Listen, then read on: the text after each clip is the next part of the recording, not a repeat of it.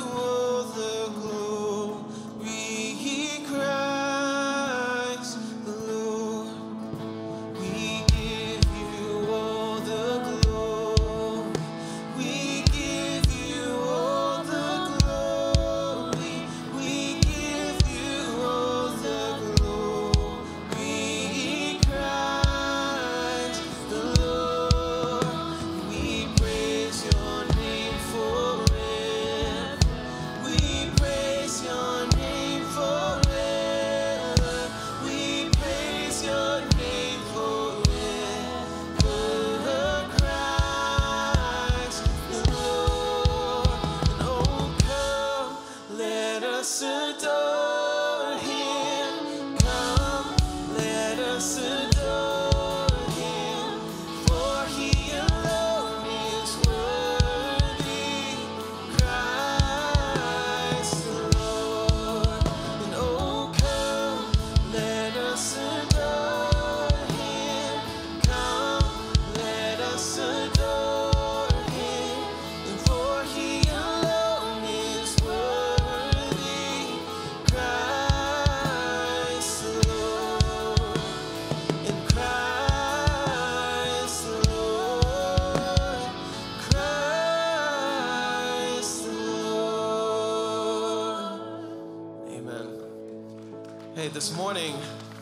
ask you to greet one another, but but hear me out. We got a week till Christmas. And if you haven't gotten sick already this season, we don't want to start now. So wave to your neighbor, greet one another, take a moment to greet one another. There you go.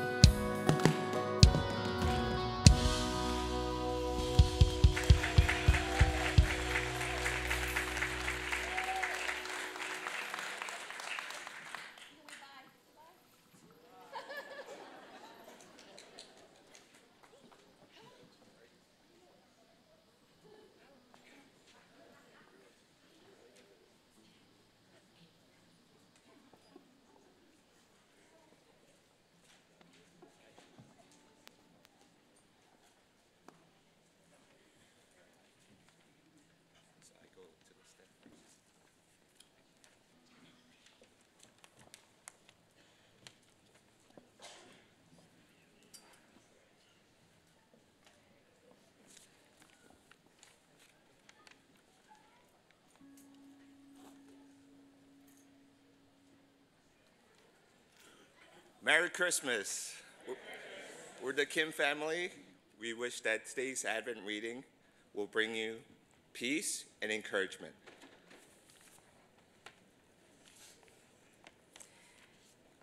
For to us a child is born, to us a son is given, and the government will be on his shoulders. And he'll be called Wonderful Counselor, Mighty God, Everlasting Father, Prince of Peace. Peace. This time of year, it seems like we see and hear the word everywhere.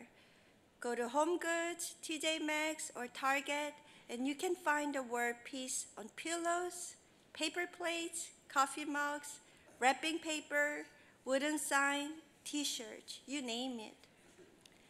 Busy parents just trying to find a quiet moment to wrap gifts, decorate their homes, or prepare for holiday guests simply long for some peace and quiet, while their kids are just getting more and more wound up as Christmas morning approaches. During this fourth week of Advent, we're focusing on the name Isaiah gives to Jesus, Prince of Peace. This Prince of Peace shows up in the Christmas story not only to bring temporary comfort during a frenzied season and external circumstances, but he also invites us to experience a settled, permanent peace deep inside of us as we learn to trust him and receive his gift of salvation. Jesus is our peace. He doesn't just give us peace, He is our peace. Before His death on the cross, we were enemies of God, at war with Him because we were living in sin. But His crucifixion provided the only way for us to be reconciled with God, winning the war so that we could be at peace with God and be called His children and His friends. Jesus brings peace. One of the greatest benefits of being in a relationship with Jesus is enjoying the peace that he brings during our trials and in our relationships as we are controlled more and more by the Holy Spirit. Isaiah confidently promises us that anyone whose thoughts are focused on God and who trusts him will be kept in perfect peace. Jesus will be our peace. One day, all things that rob us of peace will be no more. During Advent, we will not only celebrate Jesus' coming to earth for the first time, but we will look forward to the day he will come again. On that day, Satan will be conquered, and the rule of Christ and his peace will never end.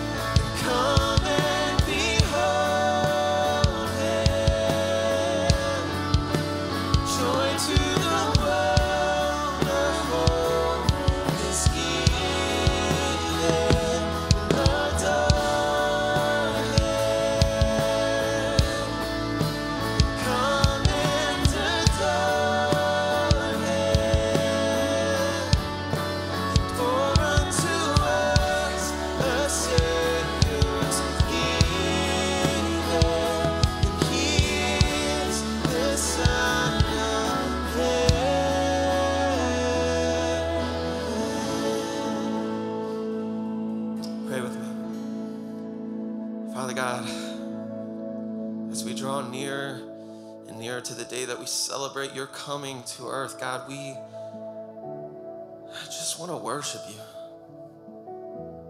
We just want to gather together and sing songs and praise your name because you are the best gift that we have ever received. So, Father, as, as we travel to connect, or if we stay at home, God, wherever we are, I pray that you encounter us this Christmas season. That you reach us wherever we are. Because no matter how we spend our Christmas, God, it's better with you. It's better with you. We love you and we thank you for all that you're doing. Amen.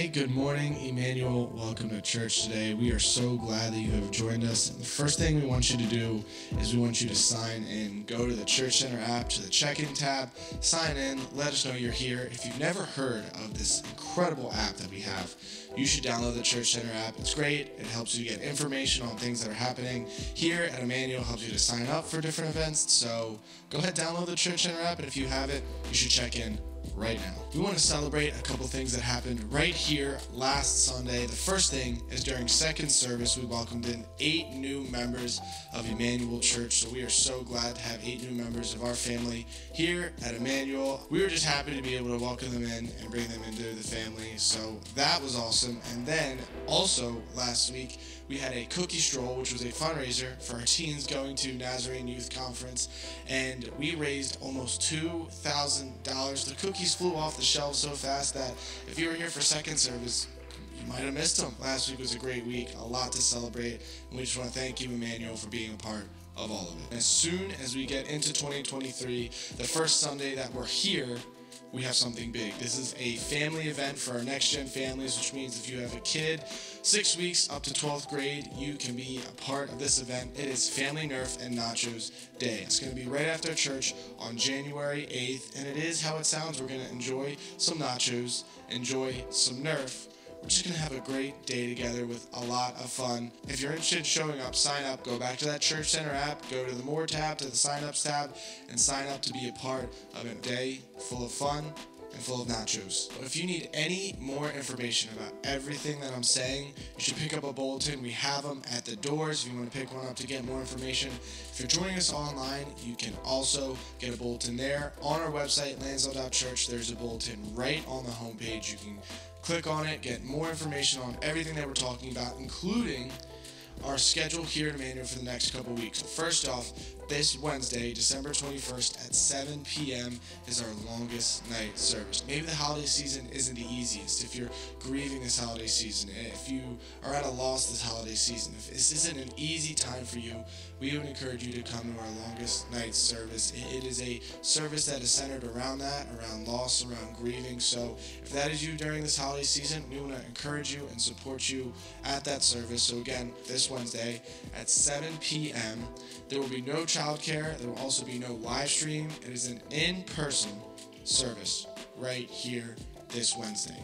Now, after that comes Christmas Eve. Christmas Eve is Saturday, December 24th. Did you know that Christmas Eve was Saturday, December 24th? I hope you did.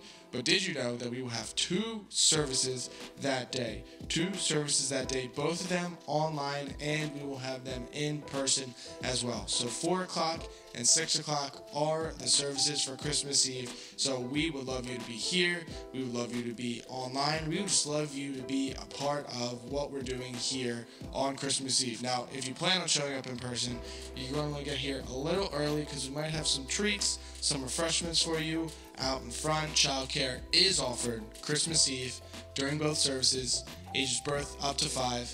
And it's also offered the next day, Sunday morning, here at Immanuel because Christmas is on a Sunday this year.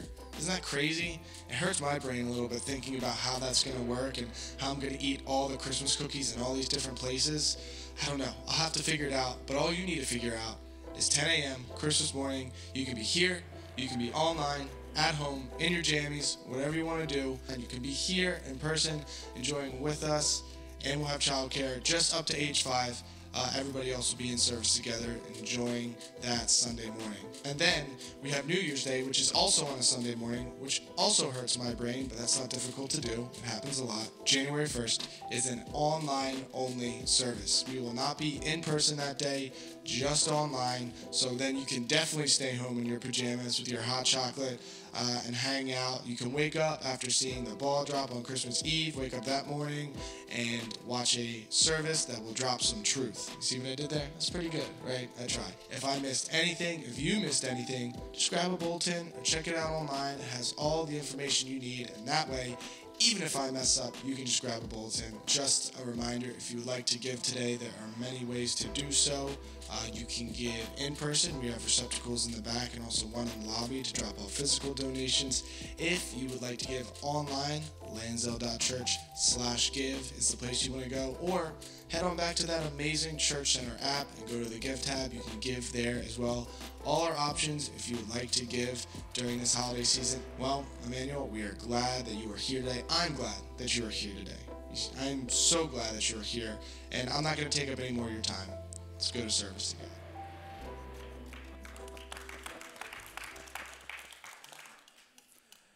For unto us a child is born, unto us a son is given, and the government will rest on his shoulders, and he will be called Wonderful Counselor, Mighty God, Everlasting Father, and today, Prince of Peace.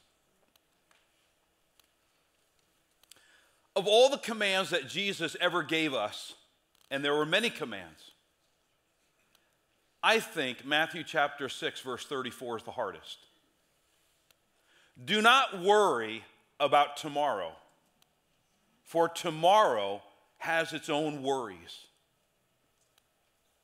You know what Jesus is saying, right? Worry is a sin. Well, that's not good news because I got a problem with that, right? I mean, think about it. Jesus is saying to you and me, don't worry about how your kids will grow up and turn out. Don't worry about your job. Don't worry whether you're going to have a happy marriage or not. Don't worry if you'll ever get married. Don't worry about your relationships. Don't worry about your health. Don't worry. That feels impossible. Now, Jesus is not saying don't be concerned about those things, but the difference between concern and worry is worry has a way of bleeding over into everything and sucking joy out of you.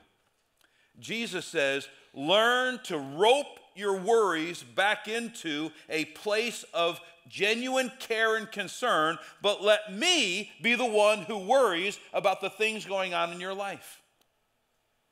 I suppose it's probably fair to ask the question what is worry? Did you know that worry in the Bible, the Greek word for worry, is actually the word for anxiety? We are living in an anxious age, which is the same as saying we're living in an age of worry. Author Seth Godin described anxiety this way it is experiencing failure in advance. You okay there, Joyce? When you're anxious, you are experiencing all the feelings of something bad that has not yet happened. And yet, 85% of what we worry about, sociologists and psychologists say, never will happen. So, 85% of what you're worrying about at this moment is actually never going to happen. And of the 15%, hey, look at me, come on. Of the 15% that actually does happen, four out of five people say, well, we just dealt with it at the time and we took it as a learning experience and we got better for it. So I think it's fair to say, what is peace? What if you could overcome chronic anxiety and live in peace? As impossible as that may sound at this moment, because Jesus never commands us to do something that's impossible without Him helping us to do it. So, what is peace? The Greek word for peace, you know it, it's the Hebrew word from the Old Testament, shalom. You ever had anybody come up to you and say, shalom? Shalom is deeper than just being happy. Shalom actually describes a sense of wholeness, of unity, of well being of without interconflict, that cognitive dissonance, without that. You're at peace with yourself, you're at peace with God, and you're at peace as far as it's up to you with every other person. So, the great question this morning is how is Jesus your Prince of Peace? Let me give you three ways. The first is Jesus is our Prince of Peace because Jesus restores our broken relationship with the Father. Romans chapter 5, verse 1. Therefore, since we have been made right in God's sight by faith, we have been made right in God's sight by faith, that's righteousness. We now have peace with God because of what Jesus Christ our Lord has done for us. Have you ever asked yourself this question? Why is sin such a big deal? Why does God take sin so seriously? What's wrong with a little bit of cheating on your taxes? What's wrong with skewing the truth to make you look a little bit better? What's wrong with a little bit of innocent flirting at work? What's wrong with a little bit of porn? What's wrong with those things? Why does God take sin so seriously? Here's the reason sin always destroys relationships. Ask anybody who has ever gone through a separation or a divorce, whether it's a child or the spouse. Ask anybody. The devastating consequences of a divorce. The same thing happened to Adam and Eve. Because they willfully chose to do something they knew was wrong, what ended up happening is it fractured their relationship between them and God. And they needed to leave the Garden of Eden. The same thing happens to us. You know that feeling on the inside when you do something that you know is wrong? There's a relationship fracture between you and God. You don't feel as close to God as what you used to. You feel like there's a barrier now. Jesus came to break that barrier, to restore a broken relationship back with you and God so that you can be in peace. We call that the peace of God. Number two, Jesus teaches you how to live peacefully in your everyday life. John 14, 26 and 27. But when the Father sends the advocate as my representative, that is the Holy Spirit, he will teach you everything and will remind you of everything that I said to you. I am leaving you with a gift, peace of mind and heart. And the peace that I give is a gift that the world cannot give. So don't be troubled or afraid. There are two things you need to see about this teaching from Jesus about the Holy Spirit. The first is this if you know Jesus, you have the Holy Spirit already inside of you. You do. You have the Holy Spirit already living inside of you. And the purpose of the Holy Spirit is to teach you everything and to remind you of the words of Jesus. Now, stop and think about that. The purpose of the Holy Spirit is to teach you everything. What does that mean? Everything. That's what it means. Jesus will teach you how to manage your money so that you won't be anxious because you'll have financial margin. Jesus will teach you through the Holy Spirit. Jesus will teach you how to manage your time and prioritize your time so you won't always be running around crazy, active, busy, and not have time for your kids or things that really matter to you. Jesus will teach you how to be a great employer or an employee so that you can run or be part of a successful business. Jesus will teach you how to have friends and be a friend so that you'll never be lonely again. Jesus will teach you how to get along in your marriage. Jesus will teach you how to be a great parent or child. Jesus teaches you how to respond to authority appropriately. Now, listen to this why does the Holy Spirit teach you all those things? Do you see the next verse? John 14, 26. Because Jesus wants to give you a gift, and the gift is peace.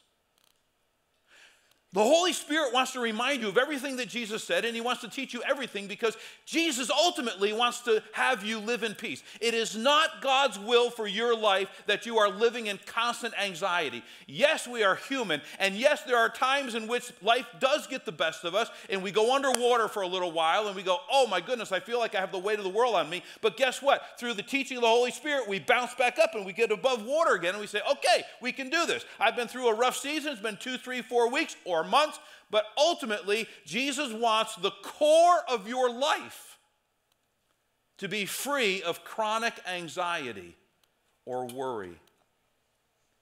The result of the Holy Spirit teaching you everything is 1 Corinthians 14 33. God is not a God of disorder, but of peace. That means Jesus wants you to live a well ordered, well balanced life of calmness and productivity. Now, how does the Holy Spirit do that? The Holy Spirit does it primarily through three ways. First of all, through His Word. I talked about this a little bit last week. I gave you three scriptures, and I promise you that if you read these three scriptures, you memorized these three scriptures, you saturated yourself in these three scriptures, man, worry would just kind of dissipate away from you because you're getting the mind of Christ. You know, if you're struggling with anything today, you ought to go and do a Google search on whatever that topic is. You know, sometimes I'll look up all the Bible verses that have to do with anxiety, and I'll print them out and I'll stick them right in front of me. And whenever I feel myself getting anxious on the inside, I'll just go back to those Bible verses. Oh, yeah, here's one here, here's one here, here's one here. God's Word is a great medication for the anxiety of your soul. Also, prayer, talking with God about your problems, is very therapeutic. Also, the church. Being with other Jesus followers in church, in small groups, doing life together is wonderfully therapeutic. You know, there's constant studies that keep coming out. I just saw a new one recently. People that go to church live longer and they're happier. You want to live longer? You want to be happier? Start going to church. Start showing up every Sunday, except for January 1st.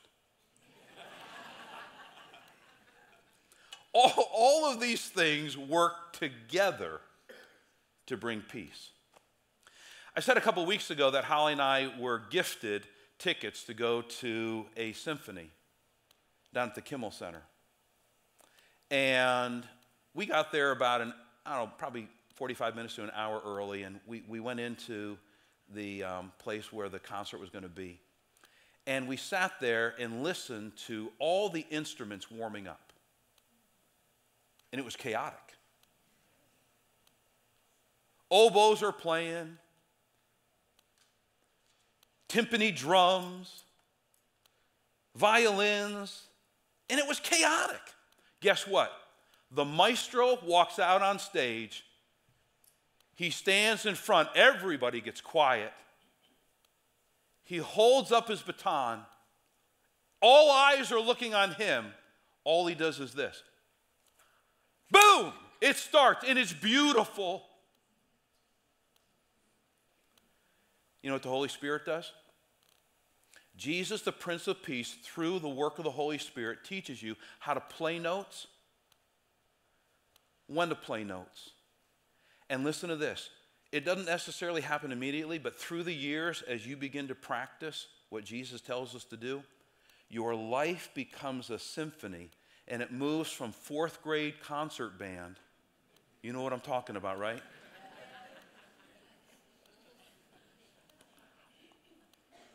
I think that was Mary Had a Little Lamb. Don't you think that? I, I, I, heard, I heard, I sort of heard a melody. You go from fourth grade band to a professional symphony orchestra. It's called the work of sanctification. And that's what God wants to do in your life. You don't have to be perfect if you're a new babe in Christ. None of us are perfect, and we've been following the Lord for decades. But you get more together as time goes by. Because Jesus promises you that He will teach you in everyday life how to have peace. Number three, Jesus has promised His presence in every storm we experience. Mark chapter 4, verses 39 tell the story of Jesus and the disciples being in a boat, and there was a storm on the Sea of Galilee. To this day, on the Sea of Galilee, terrifying storms can come up with little or no notice because it's in the great Rift Valley that goes all the way from Israel all the way down into Africa. It was the superhighway of the ancient world. For those of you who have been to Kenya, Kenya's Kids, which is a ministry out of our church, we had a children's home for many years in the Great Rift Valley that goes all the way to Jerusalem from East Africa. And so, as a result of that great Rift Valley, what happens is storms just kind of tunnel their way through and they can come up. You can be on the Sea of Galilee at 2 o'clock in the afternoon and it's sunny and bright. Hey, it's a wonderful day. By 3.30, there could be total clouds everywhere and a wicked storm comes up. And it's one of those storms came up while the disciples and Jesus were crossing over from one side of the Sea of Galilee to another. And this storm was so terrifying that the disciples thought that they were going to drown. Jesus is laying in the hull of the boat, he's sleeping. The disciples get a little ticked off, and Peter, because he's always the loud one of the group, Peter runs over and he goes to Jesus, Hey, you may not have noticed here, but there's a storm. Jesus gets up, speaks to the wind and the waves, and says, Be still, be silent. You know the Greek word for that is hold your peace. That's what it means. Whew, stop. Some people think that peace is the absence of conflict, the absence of storms, the absence of problems and challenges. Some of you are just waiting for you to have peace in your life because you want all your problems to go away. That is not biblical peace. Jesus has promised us that He will give us His presence, His peace in the midst of all of these challenges. Don't wait for your life to come together because it's not going to. You can have peace in the middle of it. So, how do you get that kind of peace? We get back to Isaiah chapter 26, verse 3. You will keep him in perfect peace, whose mind is stayed on him. Remember, when Isaiah wrote his book, it was a time of social upheaval in Israel. It was a time of political chaos. It was false news. It was religious hypocrisy. All kinds of crazy stuff was going on. And yet he said, You will keep him in perfect peace, whose mind is stayed on him. The Hebrew word stayed on means to lean on and to rest in. Why was Jesus sleeping in the hull of the boat in the middle of the storm? Because he was perfectly resting in his relationship with the Heavenly Father. You know why Jesus, you know, sometimes Jesus rebuked the disciples, and you have to feel sorry for the disciples because you're like, man, they're just being human. You know what I mean? Jesus, why are you so hard sometimes on the disciples? Jesus mildly rebukes the disciples here in the boat. And he says, Why are you doing this? You know why he said that? Listen, Jesus is saying to them, We were always going to be fine because I'm in the boat with you. And I'm the one that told you to cross over from one side of the lake to the other. Jesus has promised to never leave you nor forsake you. It does not mean the absence of tragedy. It does not mean the absence of challenges. It does not mean that bad things will not happen to you. But in the middle of all of those things, Jesus promises to be your Prince of Peace.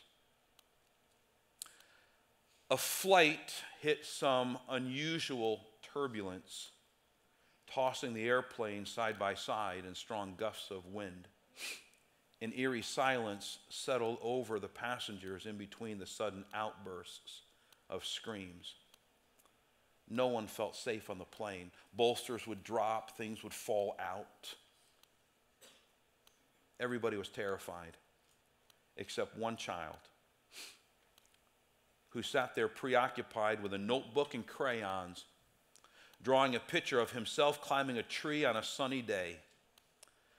A passenger nearby noticed that the boy seemed unusually calm and was just unrattled and drawing in his coloring book. And so she said to the boy, Son, aren't you afraid? He looked up from his paper for a moment and then smiled and said, Nope, I'm not. The lady said, Well, well why aren't you afraid? And he said, Because my dad's the pilot. And then went back to his drawing. Life sometimes feels out of control. Have you come to the realization that actually there's not a whole lot you can control? Control is oftentimes an illusion. We think we have something that we actually don't possess.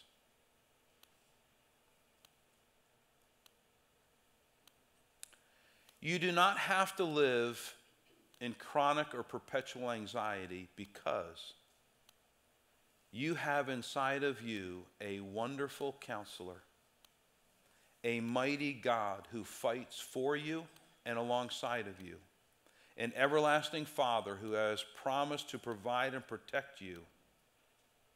And listen to this. Have you ever asked yourself the question of those four names of Jesus wonderful counselor, mighty God, everlasting Father, Prince of Peace? You ever ask yourself the question why Prince of Peace is last? It's not because it's least important, it's because it's all encompassing.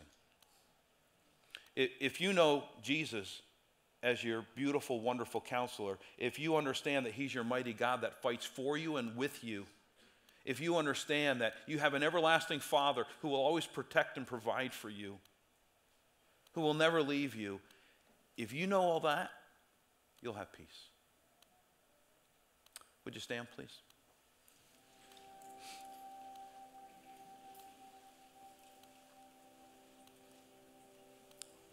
Each week of Advent, I've been giving two invitations.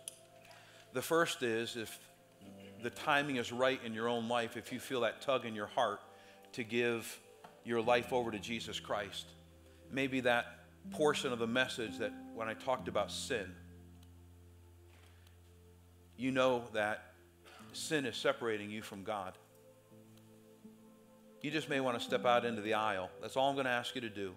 Just step out in the aisle and say, I would like to begin a relationship with Jesus Christ.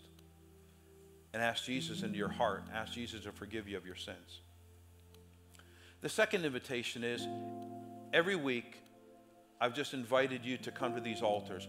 I don't know if you have any religious background and you know what altars are, but altars are safe places. They're, they're Old Testament sanctuary cities where people run to when they're in trouble. So, if you're lacking peace and you are experiencing anxiety today for whatever reason, the altars are a good place to come and to just say, I'm here. And I want to talk to you about these things.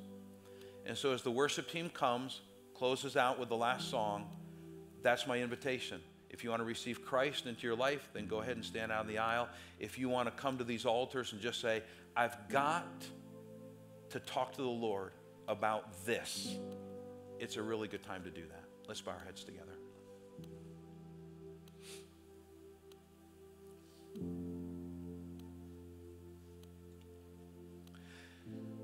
Holy Spirit, would you move in our midst right now? Would you speak to every heart? Would you help us to be honest with ourselves about our relationship with you and our relationships with other people? Speak, Lord, we're listening. Invite us to healing today, would you please? In Jesus' name, amen.